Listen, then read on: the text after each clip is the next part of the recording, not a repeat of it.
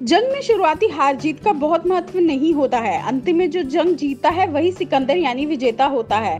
यहाँ सदर ब्लॉक में अविश्वास प्रस्ताव के ज़रिए ब्लॉक प्रमुख मोहम्मद शफीक को हटाने के साथ राजू सिंह ने प्रतिष्ठा की ये लड़ाई जीत ली है।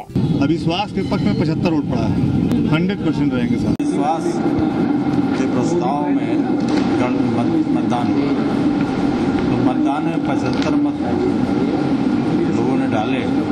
पचहत्तर मतों में एक रद्द हुआ है। एक अविश्वास प्रस्ताव के विरुद्ध गया है। और तीन इनवैलिड हुए कुल पाँच मतपत्र इस प्रकार अलग तरह के हैं और सत्तर मतपत्र में उनके अविश्वास प्रस्ताव के पक्ष में उठ गया इसलिए अविश्वास प्रस्ताव पूर्ण बना अब उनकी पत्नी श्रीमती संजू सिंह का प्रमुख बनना तय है। स्थानीय राजनीति में इसे सूर्यवंशम रिटर्न की संज्ञा भी दी जा रही है।